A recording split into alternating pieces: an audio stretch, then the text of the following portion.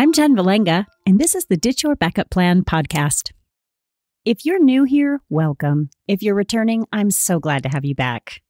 You are here because you are multi talented, fearless, and you're looking for inspiration to follow a fulfilling career path. There are roadblocks, or what I like to call falling wrenches, especially now. But heads up, fearless friends, you can ditch your backup plan. How you are as a human in this world really, really matters. And, and I think, especially for female identifying folks, we get this message that that kindness and assertiveness are mutually exclusive. And I think to be successful, you can be a kind person and truly treat people the way you want to be treated and have good boundaries and say no to things or that's not okay with me. Today's episode features psychologist Dr. Alisa Hurwitz. You might know Dr. Hurwitz as Dr. Drama on Instagram. In this episode, we discuss self care, identity, boundaries, and the impact of brain development on your ability to process the challenges of an industry shutdown. Since this episode is about self care, why don't we start by taking a deep breath? We've all been holding our breath for many months for many reasons. Just take a breath with me.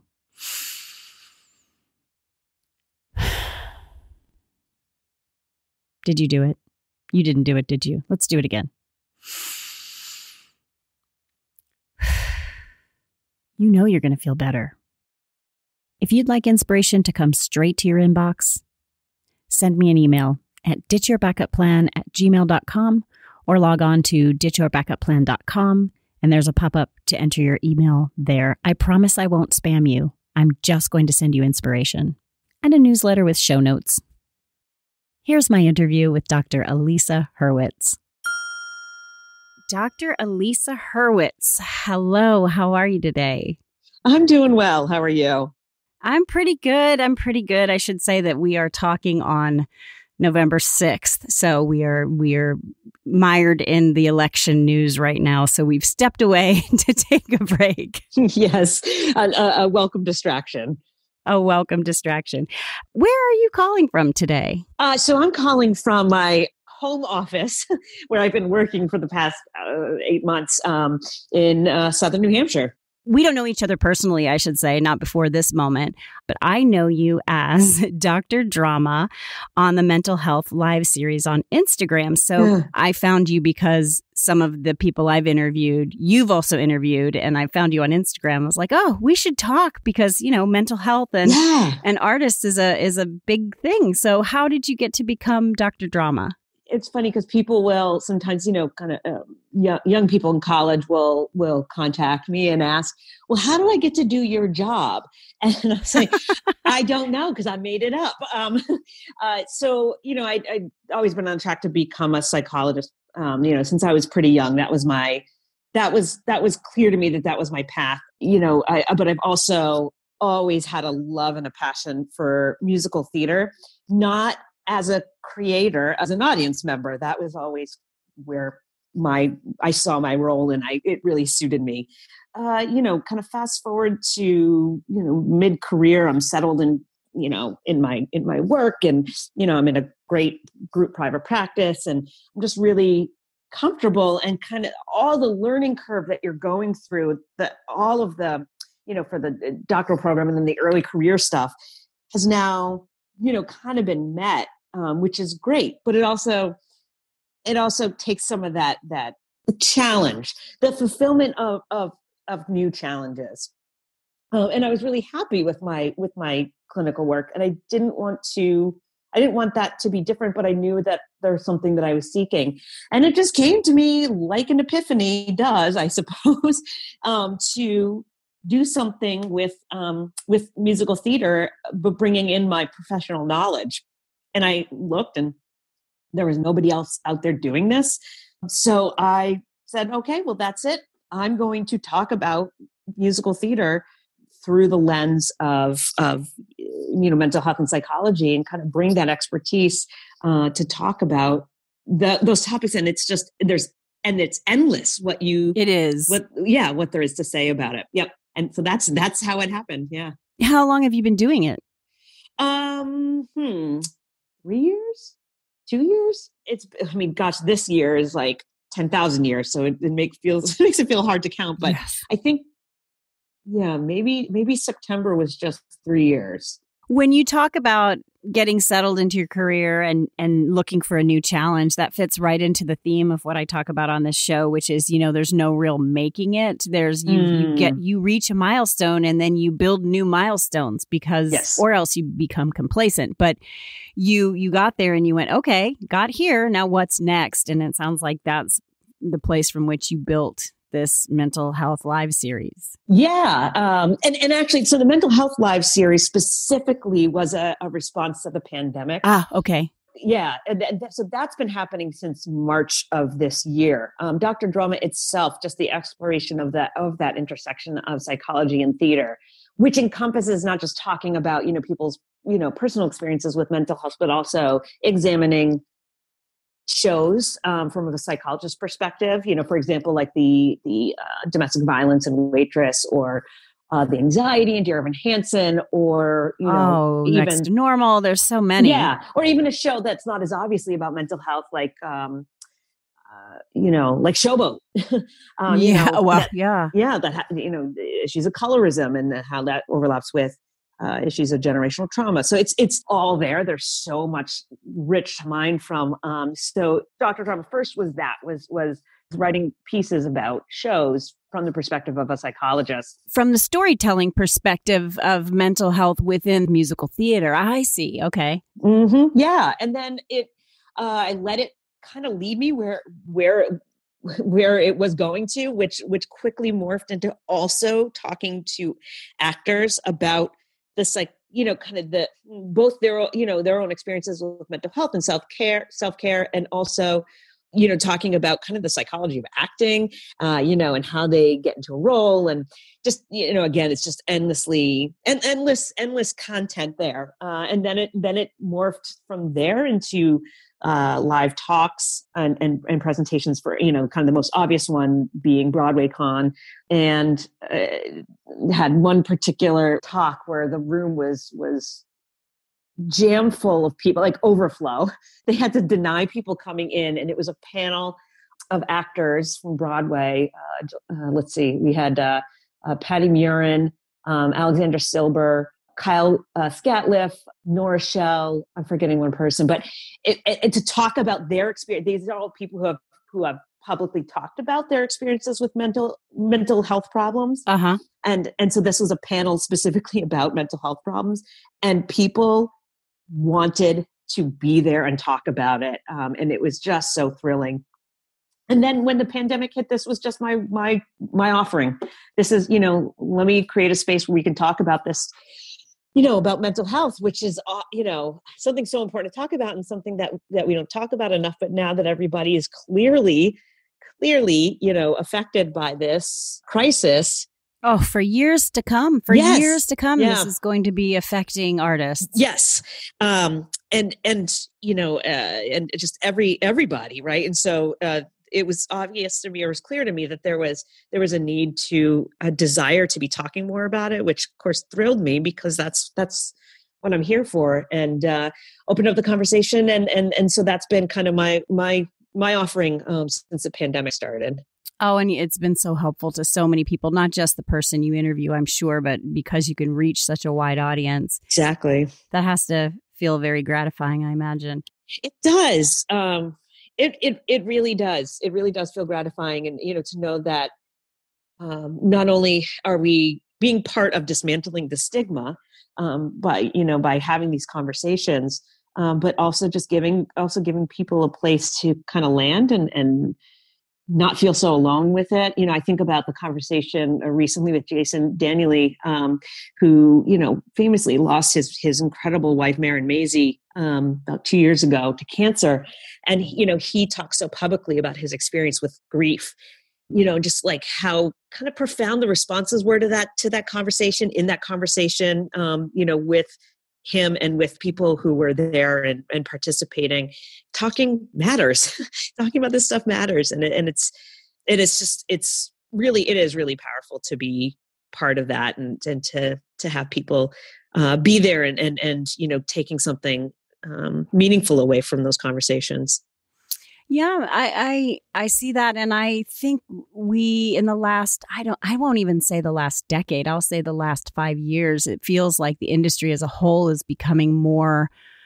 It's not like we weren't aware. It's becoming more, um, let's say, committed to bringing more resources into the space for actors to take care of themselves and their mental health the routine maybe it's not even a routine yet of bringing in a um, intimacy director mm-hmm. you know which which is in the space of mental health for sure i'm a professor at kansas state university and we have the only drama therapy graduate program in the midwest wow. and i know for me we did a we did the play columbinus about five years ago mm. about the tragedy in columbine I, if i could go back in time i would not have done it um it was difficult for all of us. But I will say the audiences, it packed houses, packed houses wow. of people who needed to hear that story. But it took its toll on us, but we brought in the drama therapists to do de-rolling with us to right. make sure that everybody could step away from the grief and everything we were carrying working on that show.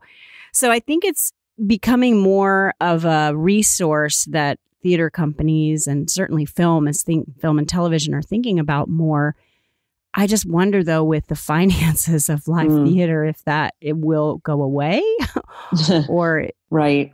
I don't know. What what are you seeing? Yeah, I mean it did it did certainly seem like uh, in the theater world um, that there was there, there's been a pattern now of of incorporating um, intimacy directors much more so into into their creative process rehearsal process. Um, you know, I think about a show like the musical Jagged Little Pill. Uh, you know, there's content about um, sexual assault uh, and a song specifically about that, where some of the movement is uh, representing uh, different characters and their own experiences with um, being a survivor, and and you know, and having gone gone through their own experiences with sexual assault, and um, and they they used an intimacy director, uh, you know, and and certainly for that scene include but all of the scenes um you know not so much the men not so much directly like the mental health. I mean that's a theme that i've at least in uh, you know with the broadway folks i've i've interviewed that they point out that um, you know uh, producers or you know the shows will be very they're very quick of course. It's just de rigor to have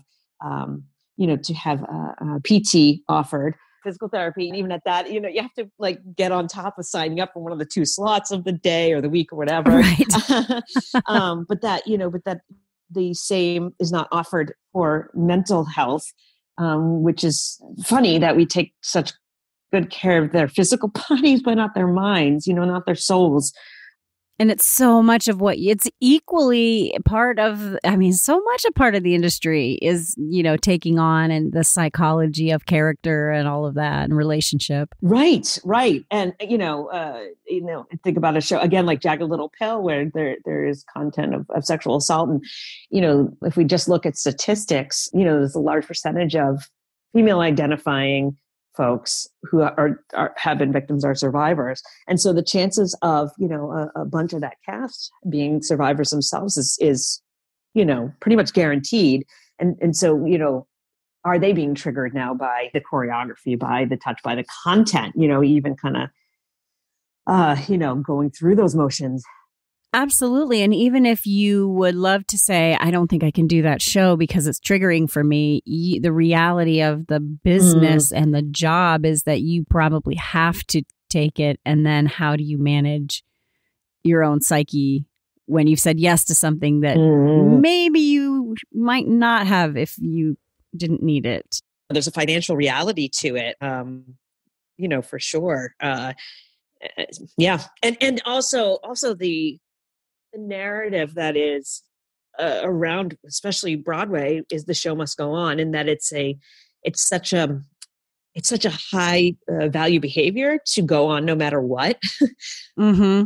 you know which is not really healthy uh, yes, the show must go on, and there there are, there are ways to to set that up uh, so to ensure that, but um, but that doesn't have to include g- going on at such a high personal cost. You, you know, if you're really sick or you know whatever's going on, yeah, You have to remember that this is a profession where one day a week for a day off is acceptable.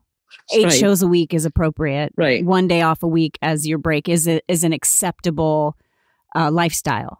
right. So it's a, it's a profession of obsessives. mm-hmm. And then how do you take care of yourself during that? I mean, do you see do you I would do you agree with that notion that it's a profession of obsessives? yeah, I, I think for some people it's it's obsessive. I think for some people it's it can be almost manic. Um, just go go go. Oh, yeah. Um, I- Mhm. so I think there's kind of a variety of places. Um, I think for some people they're just really high energy and they kind of they thrive, um, and it's not necessarily symptomatic, you know. And yeah, and so yeah, like it's normal to have one day off a week, but even that one day off, you know, especially if you're leading a show, you need to live like an Olympic athlete, um, and everything has to be towards that work. You can't, you know, on your day off, like go out and hang with friends and you know necessarily and like you know have a few drinks so it's it's kind of living like a monk for some people you know famously you know uh, um, in dear evan hansen it was uh, ben platt you know live like a monk during that time Yeah, when um when Joshua Henry and Nikki Renee Daniels were in Porgy and Bess. i love his work Oh God, yeah. Well, talk about. I was starting to think about Carousel when you were talking about the trauma on stage and how do you do that play. But you know what you do is you cast someone like Joshua, who no one could despise. You know. right right anyway, back to the original point. Nikki Renee Daniels and Joshua Henry came to Kansas State to do a concert on a Monday, and it's kind of hard to get into Manhattan, Kansas, because we're two hours away from Kansas City, and if you're going to fly right into Manhattan, there's only so many flights. At any rate, they came in on. They were like, "Well, we'll fly out Sunday after the show." It's like you can't get a flight in on Sunday night after your show. They ended up coming in on Monday on their day, one day off, uh, they flew in and they came straight to our sort of noontime session with students. And one of the students asked, "This is this is several years ago, Porgy and Bess." One of the students asked, "Well, what do you normally do on your day off if this is your one day off?" And they're like, "Vocal rest. We don't speak." Yeah. And they were doing a concert that evening, which I was like, "I can't believe you agreed to do this on your day off." But right you know, they took a half an hour of questions and then they went to their hotel rooms and rested and then came back and did, you know, like an hour long concert. But it, Mm. I think it was really eye opening for students that this is your one day off and they're flying back t- tomorrow to do a show that night. Mhm. And what they did on their day off is a concert. Yeah. It's a lot. Yeah, yeah, and uh, and that's why I think they say, you know, people will say like you have to be, you ha- you have to not be able to do anything else. Yeah. You said an Olympic athlete.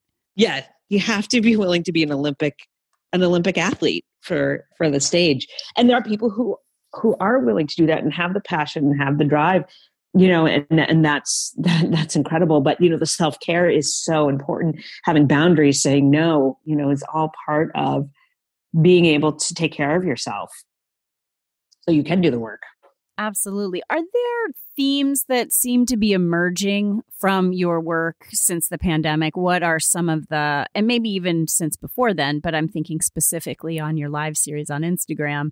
Are there certain themes that you see emerging over and over? Yeah, uh, some you know one thing that comes to mind is the identity. Um, a lot of the actors ha- that I've spoken to have talked about um, how the first the maybe the first chunk of the of the pandemic. I mean, first there was the shock, and then it settled in, and people you know really struggled with well, who am I if I'm not acting? You know, if I'm not doing doing my job Mm-hmm.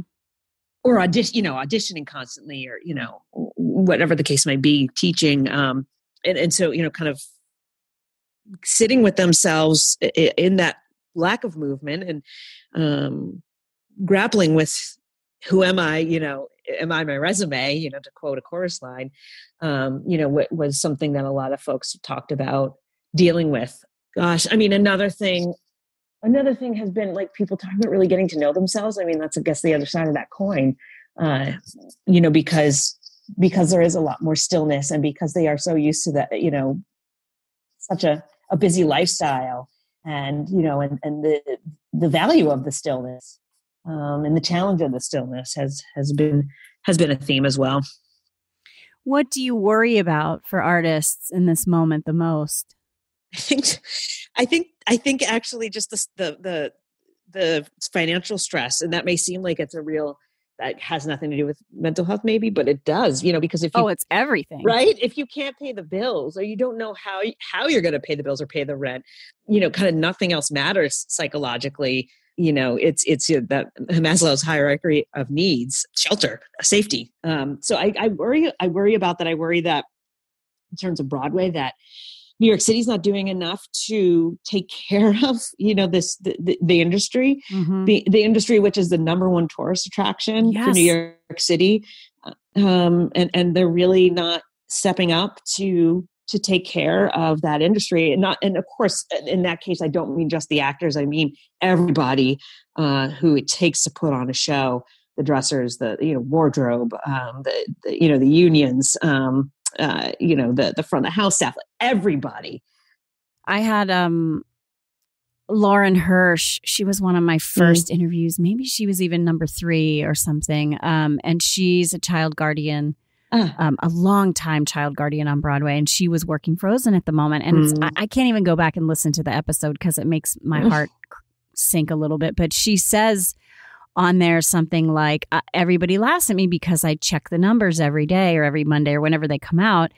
And I was like, oh my gosh, Lauren, you're on Frozen. It's going to run forever. It's Disney. You know it's going to run forever. And this was like, I don't know, February or or December or something like that. And um, she was like, "You never know. You just never know." And I was like, "Ah, you don't have anything to worry about. It's frozen." And then you know, the pandemic hit, and then you know, I was kind of staying in touch with her, and and pretty soon it you know it closed. I was like, "Oh my gosh, Lauren," and she's like, "Yeah, I mean, it's heartbreaking, just heartbreaking." Yeah, one of the casualties of of of the pandemic on Broadway for sure. Yeah.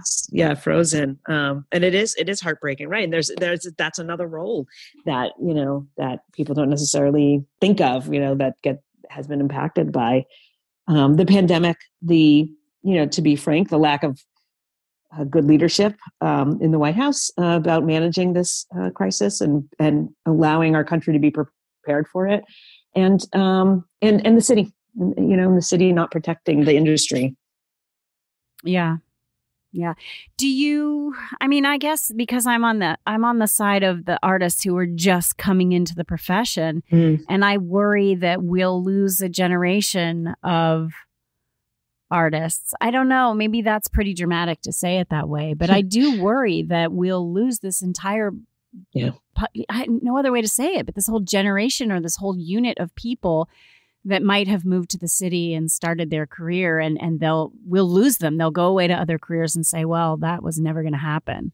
Yeah i think that's i think that's a real that's a real uh, uh, threat that that exists. I think especially for people who belong to groups uh, you know, marginalized or historically um, disenfranchised because then they, you know, the people who are going to be able to afford to take that risk are the people who have the generational wealth. Yes. Um, and, and, and that doesn't make them bad because I don't mean to imply that at all. But, you know, but I think, I think that's where the real loss lies is in, is, you know, in those groups of people. No, it's always been the case that, that if you can, if you have the funds to move to an expensive place like New York or LA and to some degree Chicago, then you can do it because you've got the safety net of yes you know whether that's family wealth or even just just a little bit more. But those, like you said, disenfranchised people that maybe don't have the safety net, um, they already weren't right. coming in the same numbers as those who were supported. And now I think you're right. It'll just be a much bigger divide. It's exacerbated. Yeah. Oh, okay. So our hearts, our hearts. but I mean, our hearts, yes. But the one, the one thing we know is that theater is not going away. Live theater's been around since Amen. dawn of man, yep. woman, yep. people, civilization. radio did not kill, you know, video did not kill the radio star. right. like right.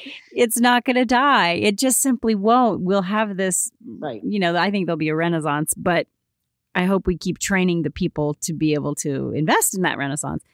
Um so what new challenges are ahead for mental health for the artist?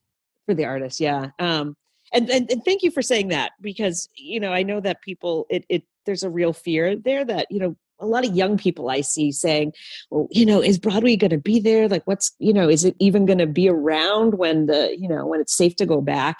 And it is important to have, eh, eh, you know, developmentally, you know, what's I think hard for younger people is that they don't, they don't, they're not yet there cognitively to be able to hold the long view and the short view at the same time. Ooh, talk on that more. Yeah, yeah, talk on that more. Explain because a lot of my listeners are in that like beginning college or getting out of college age. Talk a little bit about what's happening cognitively so they yeah. can understand this moment. Yeah, so you know, we kind of uh, we grow our brains develop from the inside out and the, and the further in you know inside the brain we go the more primal it is so it's this kind of you know the, the the further out the development the more advanced it is. And that's the last stuff to to develop. And and believe it or not the the the reality is that we develop cognitively into the age of 25 the chronological age of 25 people think you know it's it, that my guess is around 18 but it's that we actually at 18 you still have seven more years of incredible cognitive growth.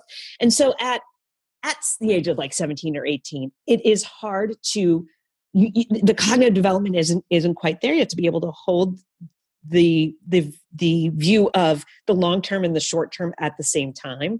Um, and and some of that is also is also exacerbated by the lack of lived experience of living through things. Mm-hmm. and that does not mean that that young people are not incredibly wise and smart and have so much to offer. But there's just this you know there's this block in terms of you know kind of how far how far the thoughts can go. And so lean on the adults, um, lean on the grown-ups who have been through stuff before um, and who can see that long view. And so, you know, when when a professor like yourself says, theater's been around as long as as society has been around, as long as culture's been around, you know, for thousands of years, and we need it. So it's not going anywhere because it has to exist. It's it's essential to humanity. Um, lean on that on that faith um, because it's it's based on it's based on some real knowledge. Yeah, good. Good, good. I yeah, I think there's a big struggle. I mean, I'm my heart goes out to. I've had a number of students call me and say, "Should I take this job that has nothing to do with the arts?" My answer is yes. Make some money, take the job. It's not going yeah. anywhere. You I had someone say to me when I was a young actor, um, I was I was stressing about when I should move to New York City. I haven't moved there yet. And she we were doing a regional theater show, and Actually, Connie Shulman, I've got to get her on the show. She she's Orange is the New Black, and she's the voice of. She's got her start. Oh, Connie, yeah, you know Connie. Yeah, she got her start in. um uh Oh gosh, what is that? Um Steel Magnolias. There we go. She got her start on Broadway in Steel That's Magnolias. Right. And right. people know her for the voice of Patty Mayonnaise on Doug, and she's Yoga Jones and Orange is the New Black. At any rate, mm-hmm. right, she was always an amazing mentor to me. And mm-hmm. I would go like, Connie, And she's like, Jen, the city is not going anywhere. Even through 9-11 and everything, when you thought yeah. the city was never coming back, it's not going anywhere. You could move yeah. there later. It will still be here. Yeah, it's so it's so true. Good advice. Yeah. Okay, so what um, what new challenges do you see ahead for you? W- will you expand Dr. Drama in some way? Um, do you have anything on the horizon you want to share? Yeah, um, you know, I I would I would I guess I would re I would reframe that as not so much a challenge um, because this uh, all that I'm doing with Dr. Drama is is you know to kind of put it simply like giving it away so although there have been challenges in terms of like learning new technologies um, and you know that kind of stuff yes the the work of what i'm doing so to speak is is not a challenge because it's an offering it's it's um, it's my attempt to to provide a, something an act of service um, but but you know in terms of where that goes um, i'm so open to it going where it's meant to be. Uh, again, because it's it's it's not defined it's not prescribed um, it just is what it is. And so for now i'm continuing the, the mental health series on um, you know on instagram. I have a lot you know weeks and weeks and weeks more of guests lined up and that will continue after you know uh, we could we just continue on. Had one yesterday in, in the midst of you know all the election craziness um, and you know it's always very uh, very meaningful and it always kind of energizes me to to have those conversations. Um, maybe that will kind of permanently turn into a podcast. Is is what I've been thinking about. Kind of after after when we're on the other side of the pandemic. Mm-hmm. Kind of, you know, going back to our lives a little bit. Um, some of that's just kind of functional for me. I'm able to do those because I'm working from home, and so you know once i'm going back to the office it's just kind of logistical thing um, but uh, th- that that may be where it's going next but maybe not. I'll see, and I'll see where it goes. But I'm not going anywhere because uh, you know whatever form it takes. Uh, uh you know, it's um, I want to continue doing this, and there's been just such a beautiful, wonderful response to it. Yeah, that's great. And I feel we're doing sort of cognate things. It's the same for me. I mean, I don't I've heard podcasts talk about Patreon and making money, and it's like I, I just mm. want to share that. I just want to get this out there. It's a need. Yes. I want students to be able to hear these stories. It's my offering. I love that you say that. This is my offering to the world.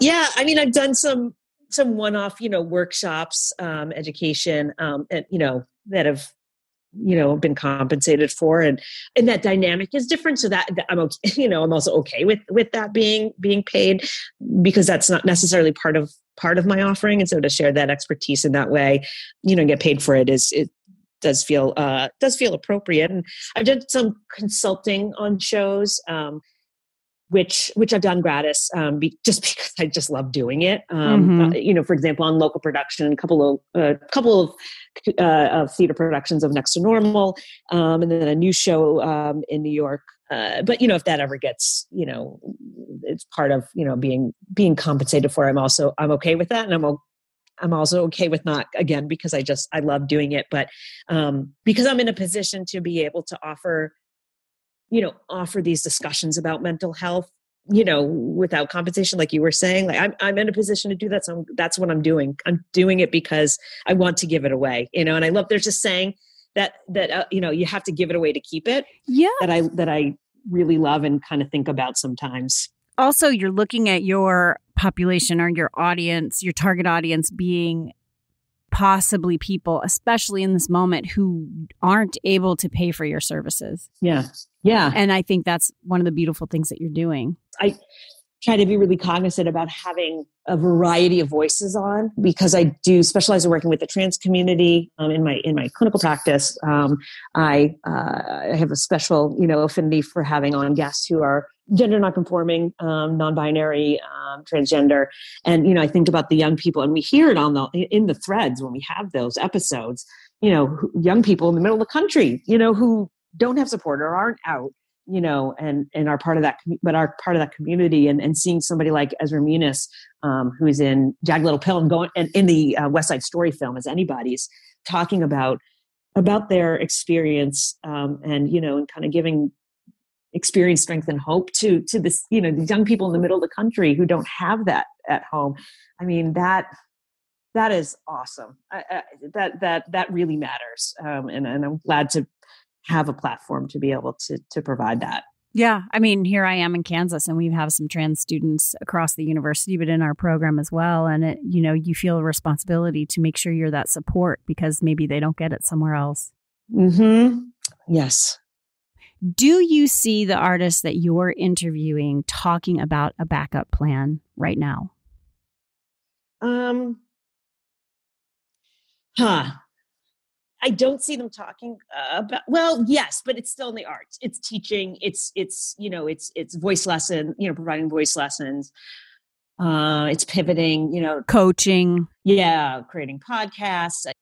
Je- um, Jennifer Simard and Jessica Vosk just came out with this really great podcast called "Killing It on Broadway." That's actually about uh, about um, true crime, um, uh, but with their you know kind of particular entertainment spin on it um, and they have different guests on from broadway um, talking about a particular you know case from their home state you know and and um, you know so they've pivoted um, and and and jennifer um, talks on on that podcast too about uh, also studying forensic psychology um, during this time as well, yeah. getting a degree in forensic psychology. So, yeah, I mean, some I think I think some of the people uh, uh, have talked about pivoting. You see, um, uh, Max Clayton, um, who's in right now in Moulin Rouge. Um, he shared on on social media that he became a real estate agent in the city for this time. So, um, you yeah, do I do see that, and I also see some people just kind of sitting tight and trying to wait it out. Mm-hmm. Mm-hmm. Did you ever have an idea of, I mean, you said you from the beginning you wanted to be a psychologist. Did you ever mm-hmm. question that, or you knew there was a pretty straightforward path to doing it? Uh, I think for like a day and a half, I was pre med in college. that was about as far as I strayed from it. Um, I also went to a very uh, strong pre med uh, school and um, and you know I just remember being in chemistry class you know requirement for pre med but also requirement for for the psychology major and um, and it was graded on a curve and I it, that's what took a day and a half for me to change my mind back to psychology because I was like this is not my strength mm-hmm. um, so you know and it's such it is such a clear path like it's so prescribed how you do that how you become that or you know enter that career mm-hmm. um, so that always felt like the right choice for me, uh, minus that day and a half, and and and is such a clear path, unlike unlike acting, which is such a diffuse path. Um, you know, so there, there is a uh, security in that for sure. Um, yeah. Um, so it, I, I did I didn't stray, um, and it's and it's you know every kind of step along the way has just confirmed you know that decision. It's it's it's definitely my calling but but you created well and i love that and you're obviously so great at it and but you did say you know you created dr drama because that was something you wanted to do and you felt that there was a need out mm. there so that was something that didn't exist before mm-hmm. that you created so did you have to see somebody or model yourself after anyone mm. to be able to know that you could do that or was that just in you i love that question um, uh, the inspiration, I suppose, was in me, but um, I, I, did benefit from the um, the advice uh, uh, uh of two people who just kind of gave me the the words of encouragement that that solidified that that direction. Um, and to call them out for a second, it's Laura Heywood, um, who people know as Broadway Girl, um, and uh, Jillian Pensavalle, who does the wildly popular true crime pro- um, True Crime Obsessed podcast, and then also, but also uh, the Hamilcast, mm-hmm. um, which is kind of the unofficial podcast of uh, of Hamilton. But everybody on, on the show has been on it, including Lin Manuel Miranda himself. Reached out to both of them, um, and and they both said the same thing in essence, which was, "Oh my gosh, you have the passion for this. Make the thing." Mm-hmm. Um, and and so the I I that's and that's what I. It also goes back to that idea of like you have to give it away to keep it. So that that was their experience you know in in in following their passion and and just making the thing. They had the passion to do it so they did it. And so they passed on that that experience that um, that lesson. And i try to do that too when people will whatever you know reach out to me and ask that question. It's pass that on. I give it away. You know if, if you have the passion and the wherewithal to to to do it um the the you know the motivation um and you you you're bringing your voice to it make the thing. Um, and I always appreciate those two women for, you know, just so generously giving giving away that that knowledge. Yeah, that's amazing. I'll have to get see if I can get them on because like you know it's oh, cognate things. Yeah, yeah, it's it's here. You know, for me it was students always love when we get guest artists on in on campus. And the thing that you know they may do a workshop and you know acting and often they say the same things that the professors say but you know now they're hearing it from someone who's out there. Even beyond the skills that they learn in a workshop they are obsessed with the journey story mm-hmm. of what was your path? And it's what you said it's a diffuse path. It's diffused. So mm-hmm. what was your path? How can i learn more about how i can follow in your footsteps and I thought, gosh, I can do that mm. every week for them. They don't we don't have to spend money to bring someone in. We can just do that every week. So it's been right. a similar like let's just give it away. I'm passionate about it and um I love to hear other people that are doing it too. Yeah. Yeah. It is inspiring. Mm-hmm. Yeah. Is there any advice that you could give in this moment about self care and mental health and just kind of staying on track? Yeah. Um, two things come to mind. Um, one is self care. Um, I always say that in my job as a psychologist that that self-care is the most important part of my job actually in my in my role as a mom self-care is the most important part of my job mm-hmm. um, you won't have you won't have it to give away if you if you aren't refueled. So know you know discover what those things are. Know what those things are that refuel you. Know if you get refueled by spending time by yourself or by spending time with other people. Know if that you know being in nature refuels you. Know if you know stillness and quiet refuel you or you know uh, uh, you know, uh, exercise refuels you. Know these things about yourself. And I also think about um, just how, you know, kind of beyond the logistical advice, like how how you are as a human in this world really, really matters. And and I think especially for female identifying folks that that we get this message that that kindness and assertiveness are mutually exclusive and they're not and i and i think to be successful which doesn't mean rich or at the highest supposed echelon of your career. But for me, successful means existing as a, as a human in the world who creates positive change in whatever way that is for you. Um, that you can be a kind person and truly treat people the way you want to be treated and have good boundaries um, and be able to say no to things or that's not okay with me you those two things can coexist and that will help you have success as a human in your life which translates to success across the board Oh, how Hope that makes sense. Yes, that makes total sense. No, I mean, I'm t- completely projecting it onto myself and my own. You, you asked some questions. I was like, hmm, how does that work for me? Um, Mm. No, that's wonderful. Thank you so much for your time and for sharing this. I will be uh, tuning in. I guess, can you say that about the internet? I've been logging on to the Mental Health Live series on Instagram and continuing to follow you. Thank you so much for your time today, Dr. Drama. Mm, thank you so much for having me. I, I, I really enjoyed this conversation. Awesome. I'm Jen Vellenga, and this is the Ditch Your Backup Plan podcast. I'm taking a holiday break as I prepare to go on sabbatical from my university teaching job and turn my attention completely to Ditch Your Backup Plan and related endeavors.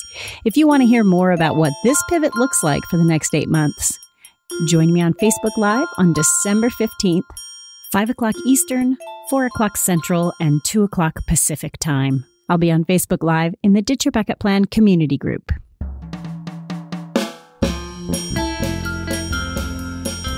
This was a short season two. I'll be back with season three in January. And I'll share a collage episode from seasons one and two right before the start of the new year. Happy, happy holidays. Heads up, fearless friends. Thanks for listening.